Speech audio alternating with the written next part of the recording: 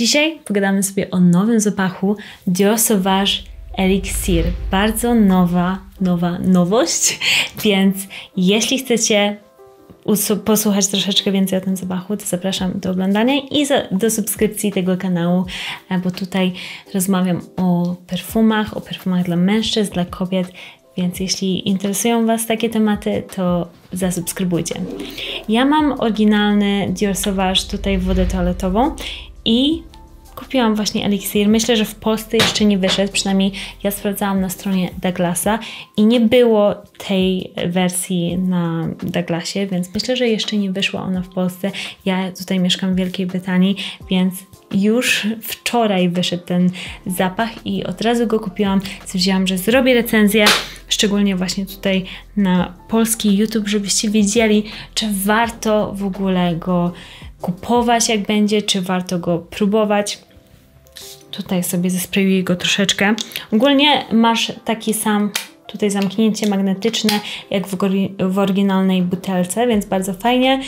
Też butelka mi się bardzo podoba, wygląda tak luksusowo, jeszcze bardziej luksusowo niż te inne wersje moim zdaniem. Jest taka, no nie wiem, fajny, takie, bardzo mi się podoba. Um, a teraz zapach. Jacie, zapach jest tak inny. Ja powiem Wam, że jak weszłam do perfumerii i oni mi dali ten tutaj, nie wiem, bloter, jak to się nazywa, czy kartkę, po prostu byłam tak zdziwiona. Zwykle Dior Sauvage Wszystkie jego wersje są bardzo podobne, więc myślałam, ok, to będzie wersja taka troszeczkę zmieniona, coś tam. Ale nie, to jest naprawdę bardzo, bardzo inna wersja tego zapachu i bardzo mi się podoba e, zaczęcie tego zapachu. Tutaj jest trochę słodyczy, ale takiej trochę gorzkiej słodyczy. Jest to zapach, który prawie od razu uderza cię lawendą, od razu uderza cię różnymi przyprawami. Masz tutaj też drewniane nuty. Ciężkość tego zapachu jest od razu odczuwalna, a na przykład w wodzie toaletowej to jest zapach świeży, ulotny.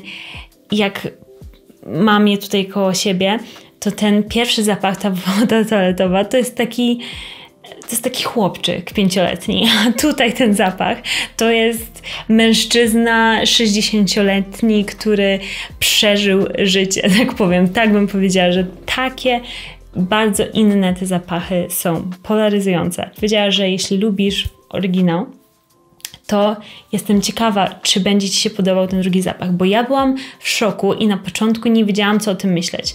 Teraz, czym więcej go testuję, tym bardziej mi się podoba. Podoba mi się bardzo e, ta gorzka świeżość, która troszeczkę tam bardzo minimalnie, ale jest w tym zapachu, szczególnie na początku, e, ale podoba mi się też ta intensywność tego zapachu. Jest bardzo, bardzo intensywny, e, mroczny i myślę, że perfekcyjny teraz na zimniejsze, na zimniejszy okres, dlatego że w lato, uf, ja bym go nie próbowała w lato, bo jest tak silny.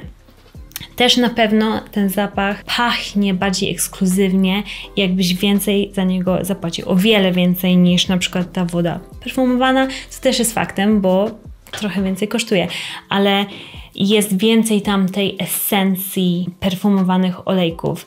Jest bardzo dużo tam rzeczy i po prostu nie, nie możesz powiedzieć, ok, to jest jedna nuta, to jest druga nuta, to jest trzecia nuta i to są trzy nuty. Tu jest mnóstwo tych nut i one są zblendowane i jak jak masz ten e, zapach na sobie, to może być trochę za intensywne. Myślę, że 2-3 spraye max, bo można zwymiotować, bym powiedziała nawet, bo jest tak bardzo intensywny w porównaniu z tymi innymi zapachami. Jest też bardzo trwały, e, co jest super. Projekcja też jest lepsza niż na przykład woda perfumowana od Diora. Myślę, że ten zapach jest dla ludzi, którzy lubią tradycyjne, klasyczne zapachy. To jest zapach, który nie jest trendy. To jest zapach, który myślę, że przez lata, przez setki lat może być e, ulubionym zapachem wielu ludzi i nie będzie się starzeć tak jak na przykład woda toaletowa, która teraz jest na topie, teraz wszyscy ją uwielbiają, ale nie wiem jak będzie za 50 lat. To jest taki zapach, trochę mi przypomina zapachy z lat 90., może nawet 80., jak Dracar Noir albo jakieś takie fougères, takie, które są naprawdę y, po prostu znane, klasyczne, które może teraz już nie są takie lubiane przez ludzi, ale jeśli ty jesteś osobą, która lubi bardzo klasyczne, męskie zapachy, to to jest dla ciebie po prostu idealny zapach, bo jest zrobiony z myślą o takich osobach, które lubią właśnie takie tradycyjne, klasyczne zapachy, ale jest tam trochę nowoczesności, więc nie, nie jest do końca vintage, ale trochę ma taki zapach vintage'owy.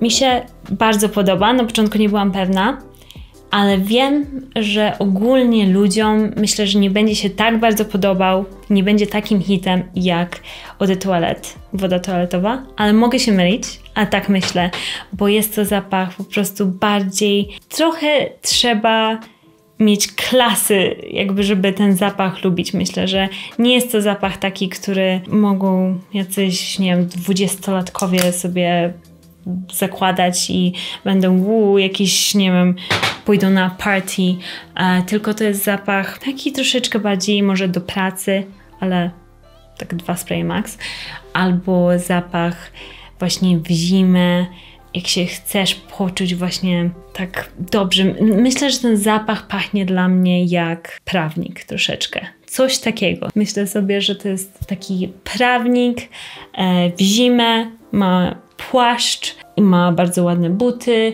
E, chce pachnieć tak z autorytetem, klasycznie, jakby trochę wydał na te perfumy. Jest on alfa po prostu. Alfa, taki człowiek z sukcesem. O, bym tak powiedziała o tym zapachu. Więc to jest taki zapach, a tutaj bym powiedziała, że woda toaletowa to jest bardziej ktokolwiek po prostu, kto w weekend sobie założy t-shirt jeansy i po prostu sobie gdzieś na zewnątrz na leżaczku e, pije drinki z kolegami.